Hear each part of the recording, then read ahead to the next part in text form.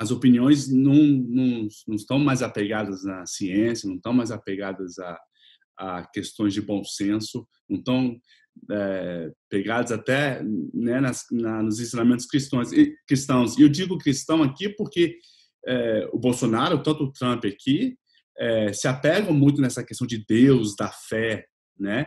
Não tem nada mais cristão do que você ajudar o próximo e isso não vai, não faz parte desse diálogo, né? Então, eu acho que principalmente é, se a gente for é, resumir aqui, está nos mostrando que realmente a gente não sabe mais viver em coletivo, a gente vai ter que aprender.